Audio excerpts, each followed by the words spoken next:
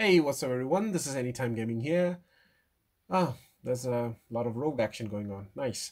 Well, I'm back. Like I said, um, in six to eight hours, the vendor will change. It'll actually take him like uh, seven hours, honestly. So right now he's in DZ South. As you can see, he's the vendor available. Uh, before we get started, guys, I'm just gonna tell you about my uh, previous video that uh, did make that video when the vendor reset, like the daily reset, but unfortunately, it didn't got uploaded at that time.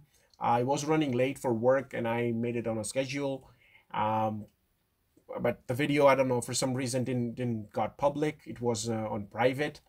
Uh, I have no idea how that happened, but it happened. So uh, that's why the vendor video kind of got late, like four to five hours late. And it seems like I just uploaded the video, but no, you can see the timer on my video that it was like 20, 20 hours, uh, 40 minutes, something left, you know. So now he's selling this uh, Pinprick uh, marksman rifle with perfect first blood, extra, and stop, drop, and roll. Um, yeah, this is this is what we have to deal with for 17 hours. So if you're interested, I don't know why the hell you will be, but yeah, it's here. And next we have uh, ongoing directive mask with 20% damage to elites, 39% hazard protection. Then we have Troop 838 holster with 7.5% uh, crit chance, 10,441 health on kill.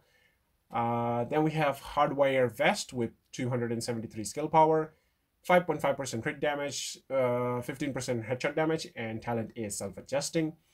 Next, we have Negotiator Dilemma holster with 16.5% health, 147 skill power, that's actually nice. The health, 16.5%. Uh, it's not bad. It seems quite high. Uh, so yeah, if if you want to buy anything, then buy this. 16.5% health. Yes. And next we have tip of the spear holster with 3.5 uh, 3% crit damage, uh, 627 skill power. Then we have aces and eights knee pads with 8% crit chance. Then we have converted SMG9 with steady handed, Allegro, and protected deploy. You can see the damage numbers there. And then we have M1A rifle with sadist um, distance and double duty. And then we have Airaldi Holdings gloves with 332 skill power and talent is opportunistic. So there's another thing to buy. Uh, the reason why I would recommend you guys to pick this because uh, the talent, opportunistic, and the gear set, the gear piece, it's Airaldi. Yes, you can get perfectly opportunistic on Alps Summit, but this is Airaldi, so you get that 10% marksman rifle damage and also the headshot damage if you use that. I use it on my Aces and Ace build, 3-piece Aces, 3-piece Airaldi, uh, and I use the opportunistic with uh, marksman rifle damage on the attributes, and yeah, it's a really nice uh, uh combo, like, you know, 3, 3, 3-piece uh, Airaldi, 3-piece Aces.